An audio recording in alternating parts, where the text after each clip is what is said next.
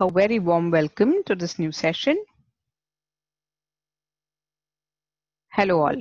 My name is Ms. Prachivani and today we are going to talk about introduction to the food and beverage service sector. Let us begin. What is food and beverage? Food is defined as material consisting essentially of protein, carbohydrate and fat used in the body of an organism to sustain growth, repair and vital process and to furnish energy. Beverage is defined as a drinkable liquid. Now, introduction to the F&B service industry. The provision for food and beverage away from home is the most important function of this dynamic sector. The F&B operation is very diverse in nature. Let me give you an example. When you visit a cafe or a fine dining restaurant, you will see a different menu, a different style of service, and a different ambience. Likewise, every F&B outlet will offer something different. Today, the F&B market has private and public sectors with small, medium to large operations unit with good number of national and international brands. So, why are we really studying this? The reason behind this is F&B sector is one of the highest revenue generating sector in the hospitality industry. The second reason is high contact service from the time customer makes a reservation in the restaurant till the time he settles his bill. So someone or other is continuously in touch with the customer. It directly deals with the basic need of a human, that is food and water, that is a beverage. And we have seen unbelievable expansion in last few years. So the main aim of F&B operation is to make sure to make the customer satisfied by understanding their needs and further fulfilling them. Now, a customer visiting F&B outlet is either looking at one of the need or all the needs.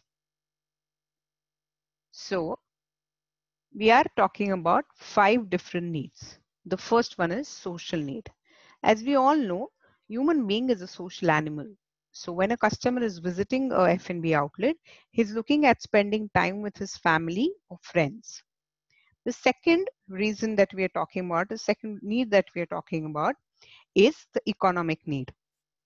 For example, a customer is looking for the need for good value or fast service or a convenient location of the outlet.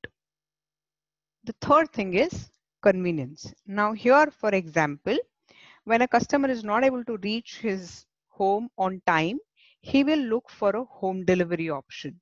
So those options are supposed to be closer to his vicinity. That becomes convenient. The next need we are talking about is psychological. When we are saying psychological need, that means we are looking at um, giving something more than the food.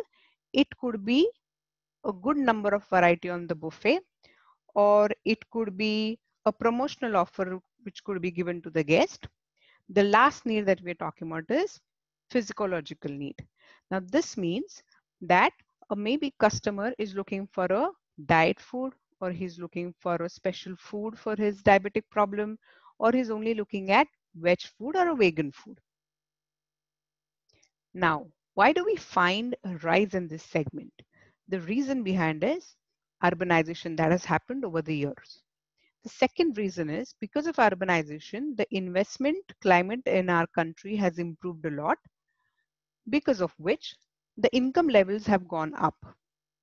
Now, in 2018 and 19, the sector was at 4,23,865 crores.